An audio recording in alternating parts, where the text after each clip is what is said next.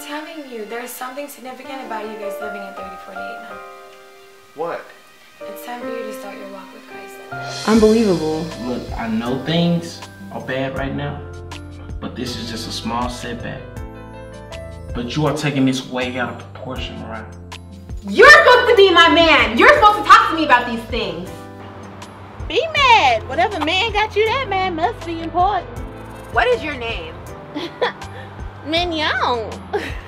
like filet mignon. You were the strongest one out of all of us. Like, you hold us all together. It's nice. Oh, man. Uh, yes, you do.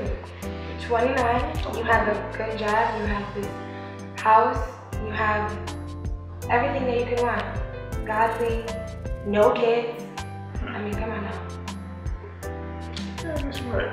My point is that if you ever want to move on, find yourself.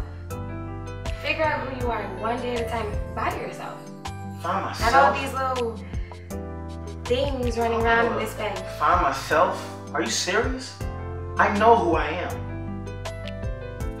Do you really? Yes, I do. Um, I don't think I got to tell you about the promotion. that Yeah, had. you never got to finish telling me. I want to hear about it. Uh, well, it wasn't easy, but my uh, skill set set me apart from the competition.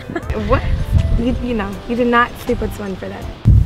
It's pretty safe to say it's been really weird around here lately. Man, what you talking about? Hello? I done told you, don't call me no more. Don't be calling me with that. Don't ca- uh-uh. Don't you call me with that. No. All right, you call me with that one more time. I'm going to light it up like the 4th of July up here. You think I'm playing?